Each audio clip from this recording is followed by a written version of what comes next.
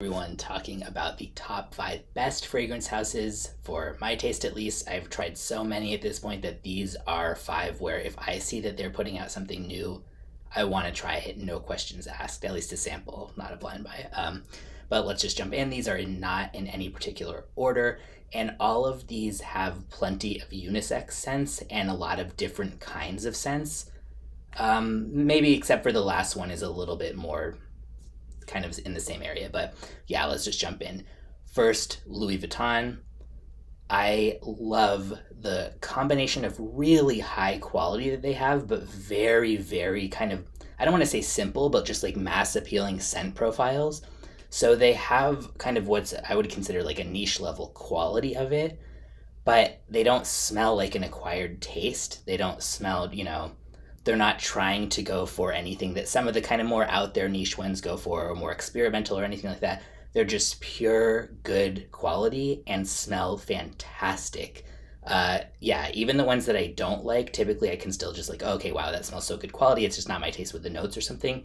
And I also think they don't get enough credit. I'm out here standing for Louis Vuitton, like they need that. Um, for the uniqueness of a lot of their scents because they have quite a few where I have never smelled anything exactly like that. It's not unique in an avant garde type of way, but it is unique in that there's just not something out there that smells exactly like that. My personal favorites, I have a top five video, uh, so I will link that in the description for there. But my favorites that are full bottle worthy to me by Louis Vuitton are On the Beach, Unisex, and Sur La Route, which leans masculine. And yeah, I just love everything about them the quality, the sense, yeah, and uh, they have some of the best bottles and atomizers. They're just so smooth. The magnetic cap, just classy, just simple. Let me grab one of my bottles. Oh, so good. I also people has sometimes say mixed things about oh longevity projection for Vuitton. The two that I wear, Sur La Route and On the Beach, have on my skin at least major major projection and longevity. Yeah, so really nice, just like heavy cap that just clicks into place. Got the logo on there. Just classy, simple, nice size, like nice ergonomic sort of grip, which people don't usually talk about that, but it is really annoying when you're trying to spray something and it's like not at an, you know, everything's positioned or shaped in a way that's not kind of easy to just quickly grab and spray. But yeah, love Louis Vuitton.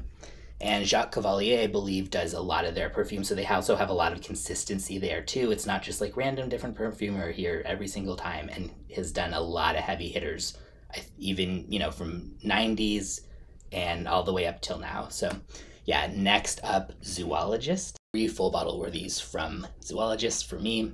Cow, Cockatiel, and Tyrannosaurus Rex. They're all, or I guess cow and cockatiel are a little bit more in the same ballpark, but zoologist Tyrannosaurus Rex is very different from the others, and I love everything about this fragrance house.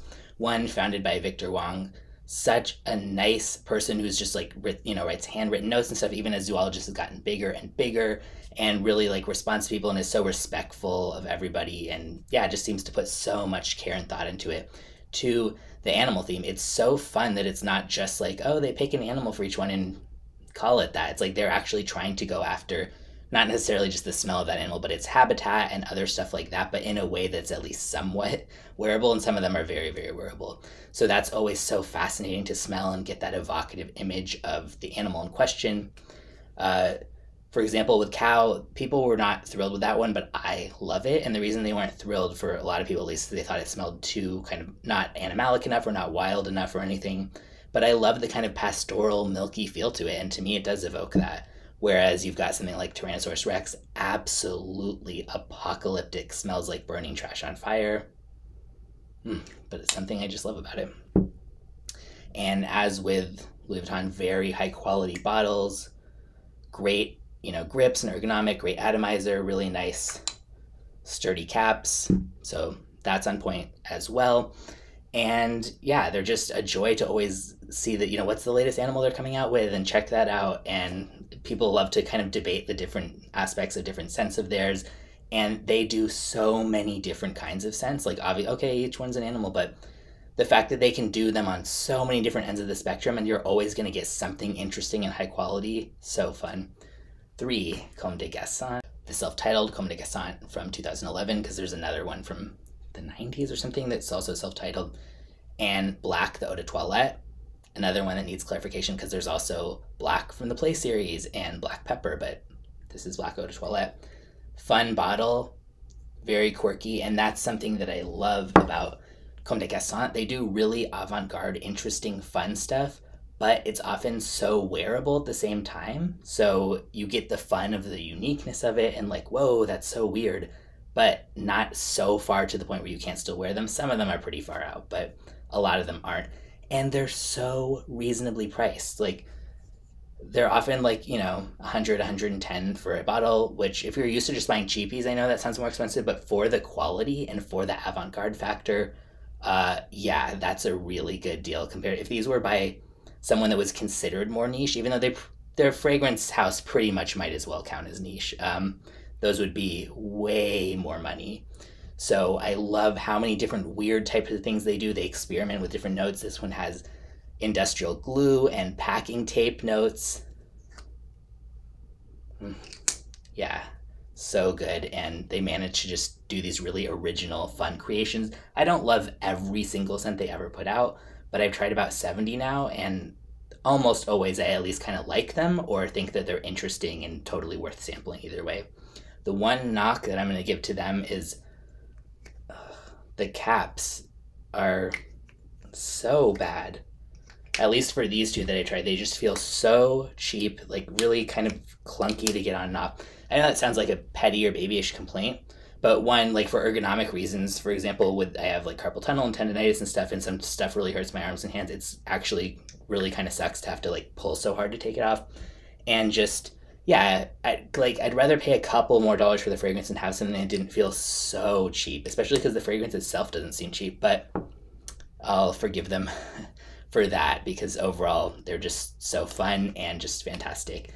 Next up, Everything by Prin Lomros, the perfumer. I'm basically counting all his as one because they're the main ones he has are Parfum Prissana and the Prin line. There's also Strangers Parfumerie. I guess that counts as just as much of a main one, but I'm especially talking about Prin and Prissana. A full bottle were these from that, from Prin Veruec, which means wolf. And this the whole thing is is based on almost like a wild feral wolf, and it smells like it's really animalic and smoky and intense. And I'm and it has oud in it. Normally, I don't like animalic or oud notes very much, but something about this just grabs me. I love it, and I feel so like badass when I wear it too. My full bottle worthy from under the uh, Parfum Prissana line is Tom Yum. Yes, like the soup, and that's indeed what it's supposed to smell like. I love it. To me, it doesn't smell like food, though. I don't think, unless you like literally were comparing it to a bowl of tom yum in front of you, that you would be like, oh, you smell like soup if someone was wearing it.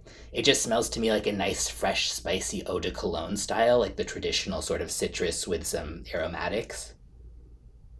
And these are so different from each other, but both such fun concepts, and I love it. Nothing crazy special about the bottles, but I do like that they come in the 30 mils because I don't use a lot at once, so I really don't technically need 100 mil. That's going to last me so many years for most fragrances that I like the option to save a little money.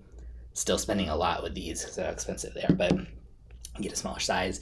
And technically, those are the only two so far by Prin Lomros that are full bottle worthy for me. But I love almost every one that I end up trying by his. It's just I'm so I don't want to just own so many that are too similar or something or that don't quite you know meet certain criteria for me. But really consistently fantastic, so creative, such high quality ingredients. Just yes, um, I would literally be like, "Can I have your autograph?" if I met Prin Lomros at a perfume conference or some shit like that. Yeah, just fantastic. Uh, and lastly, Pineward. Now I don't have a bottle of anything by them, but I love everything they do pretty much so consistently and the quality is just unparalleled that I still include them in my top five. I'm hoping one of them will be full bottle worthy for me at some point, but it's not for lack of quality or loving it that they're not. There just hasn't quite been the one for me yet from them, but basically, they're mostly like coniferous, sort of deep, foresty, tree type scents. They do have a little more variety than that. And even within that, so many different kinds. Like some are earthier, some are kind of fresher. Just there's a lot going on. But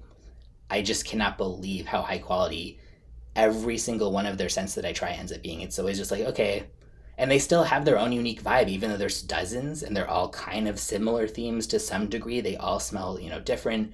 and just like whoa, like the I can't think of yeah, I think almost more than any other fragrance house, including on this list, is if you're gonna smell a Pineward fragrance, you're gonna get such high quality. You're just like such well, I don't want to say natural ingredients because stuff doesn't need to be natural to smell good. And like Prin Lomros always smells good, high quality natural ingredient, but something about the Pineward ones are just like really breathtakingly high quality to me.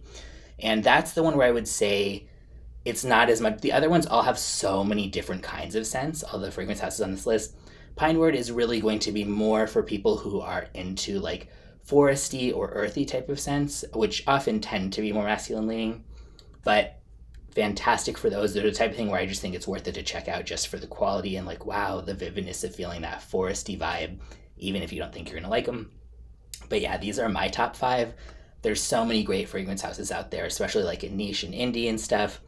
But these ones are all ones where if I yeah, if I see they come out with a new fragrance, that's I need to sample that like immediately the second there's a sample available for sale. So uh, respect for all of these. And if you, if you're a hater of any of these, I guess let me know. Or if you, whatever your favorite uh, fragrance houses are, I'm always looking to uh, check new stuff out if I haven't.